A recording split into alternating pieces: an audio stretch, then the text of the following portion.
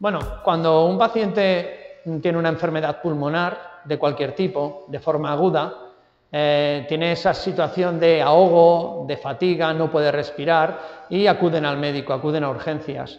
Entonces, cuando esa situación es extremadamente grave, su musculatura respiratoria no es capaz de, em, de mantenerlo respirando en condiciones adecuadas. Por lo tanto, en muchas ocasiones, ante estas situaciones clínicas, es necesario darle una ayuda o una asistencia respiratoria a ese paciente.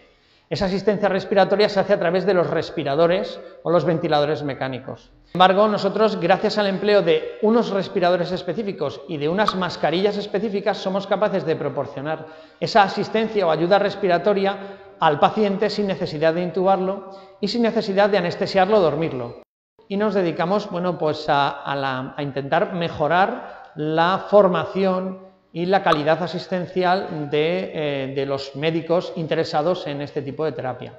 Fuimos los primeros en la Comunidad Valenciana, sí, y yo creo que gracias a ello, eh, creo que somos los que más experiencia tenemos.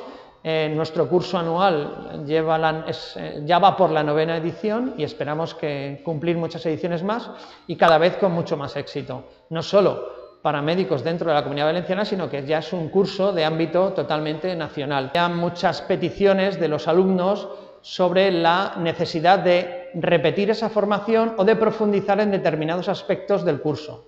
Entonces surgió la idea de montar un aula de simulación y un área de formación específica que nos permitiera, por un lado, realizar y mejorar la calidad de nuestros cursos, dado que nuestros cursos se basan en una pequeña parte en la simulación clínica y por otro lado nos iba a permitir eh, poder ampliar el espectro y personalizar la formación de los profesionales que así lo quisieran.